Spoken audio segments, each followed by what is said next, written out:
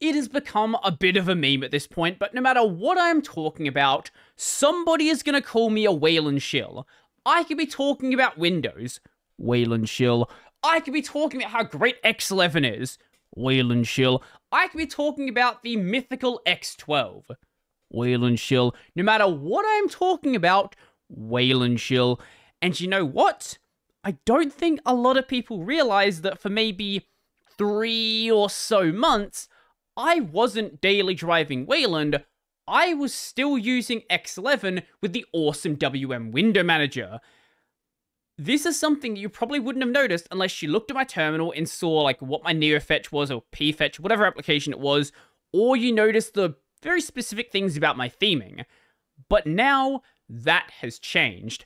Now I am back on Hyprland, and if all goes well, I think that is going to be the very last time that I ever daily drive X11. Honestly, every time I come back to this compositor, I am continuously amazed at just how much better it's gotten since the last time I used it. The first time I used Hyprland, it was buggy as hell. I would drag a window around and the entire screen would flicker. I would make a window, the screen would flicker. I would delete a window, the screen would flicker. Now, it feels lighter and smoother and a better experience than the last time I used it. And the last time I used it, it was already really, really good.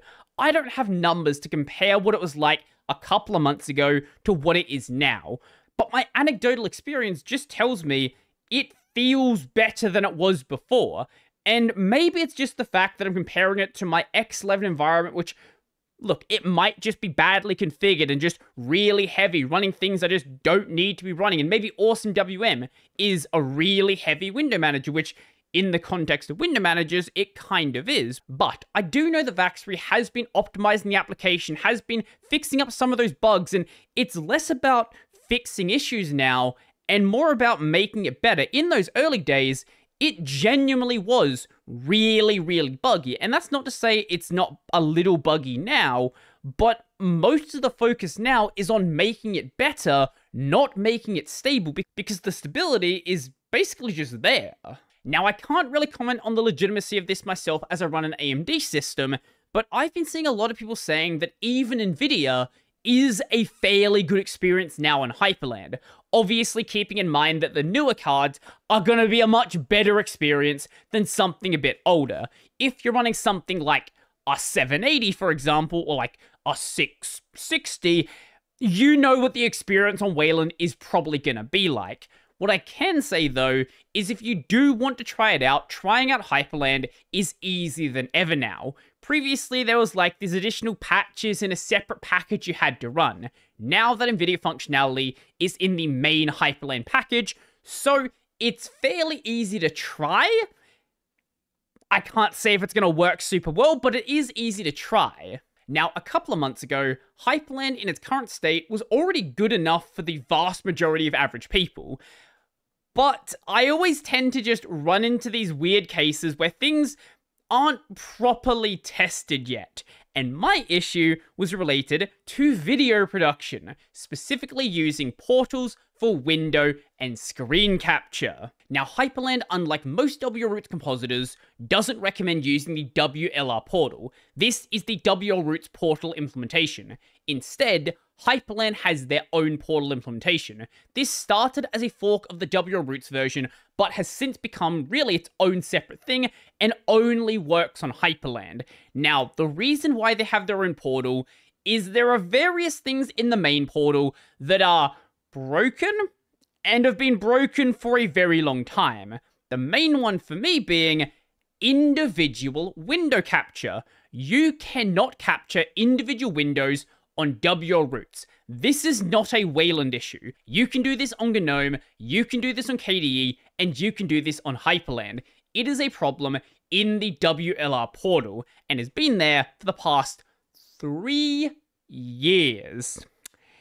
And to this day, has not been addressed. And it's gotten to the point where people are now just suggesting go and run Hyprland instead. At some point, I should do a video on why it's like this, but for now, know that if you want to do individual window capture on W routes, your only option, at least right now, is Hyprland. And this is exactly why when people say to me, hey, why don't you go and daily drive DWL, or go and daily drive Sway, or go and daily drive River, or Hikari, or any of these other great compositors? I say, I can't do that.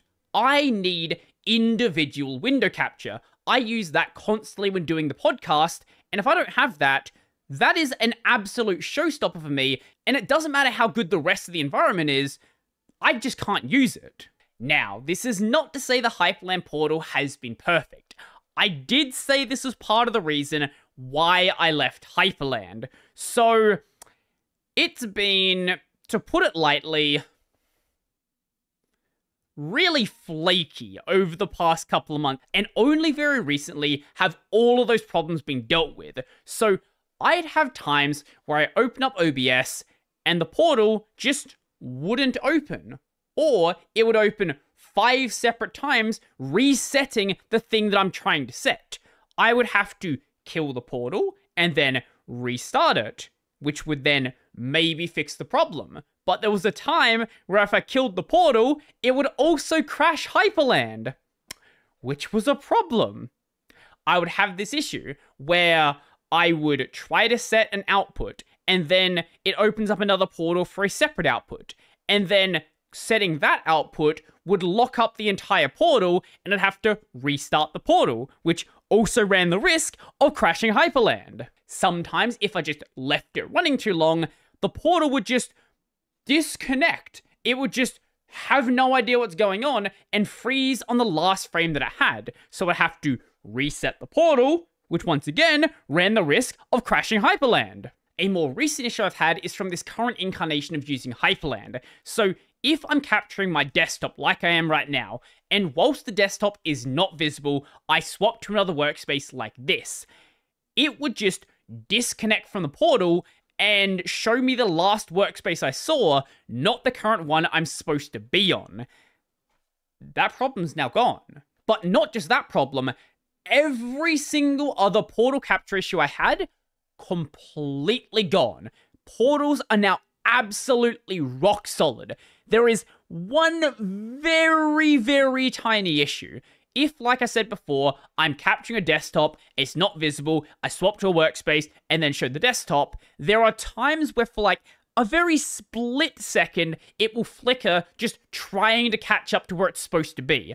After that, it works no issue at all. It's just the very start.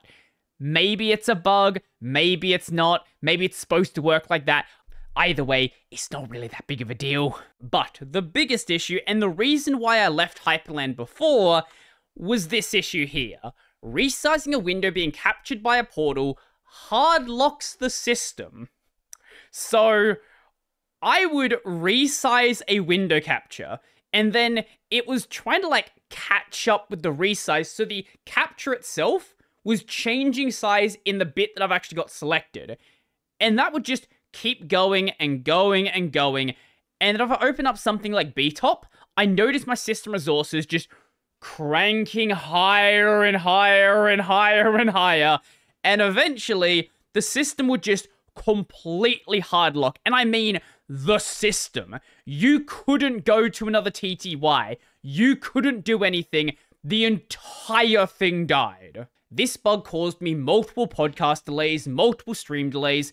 I had to hard power down my system a good like 10, 15 times using Hyprland, and it just got to the point where it was honestly just wasting me so much time.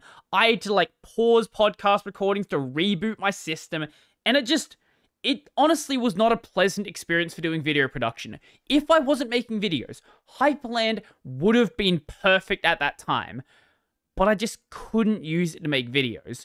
So I reported the bug. Vaxry didn't know what the problem was. He, at least to my knowledge, still never worked out what the problem actually was.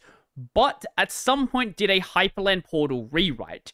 And, uh, didn't recreate the bug. So when I came back to Hyprland, the problem was just gone. And it hasn't come back since. I can now resize a window and it just resizes like you would expect it to. It's a little bit slower to do the resizing than it is on X11 because it has to go through a portal instead of just calling the API on X11 directly, but it works like it should. Like it all catches up and it doesn't cause an issue after like a fraction of a second. But the best part about waiting a couple of months and then coming back to Wayland is it's not just Hyprland issues that got addressed. Things in other applications were also being fixed. So I commonly play Final Fantasy XIV, and this is running through Wine, therefore it's running through X Wayland.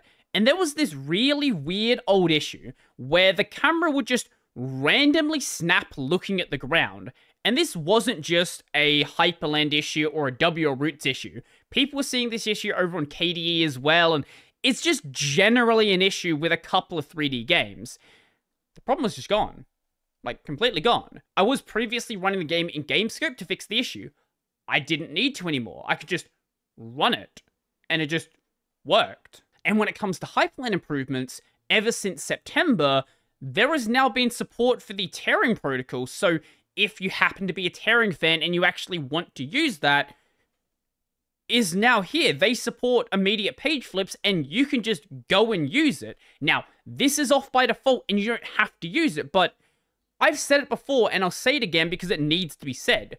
Hyprland is by far the best WL Roots compositor. Yes, there are really good compositors that are really small and focus on a very specific thing, but as a general compositor that does a lot of things, Hyprland is the best. Now, whilst I'm enjoying my Hyprland experience, if all goes well, I won't be on Hyprland for that much longer. I'm not going back to X11, but I did say I was going to try out Plasma 6 when it comes out.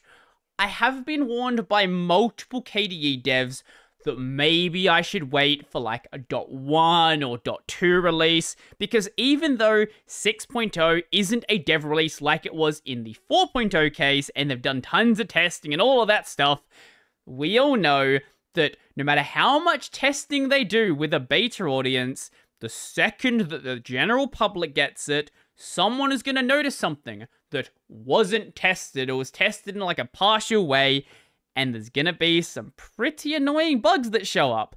And considering my track record, I'm probably to be the person that finds that bug. So maybe it's a good thing if I try it early because that means the bug will get dealt with in a fairly reasonable amount of time. Or maybe I could wait for somebody else to be the beta tester and just let them try it out.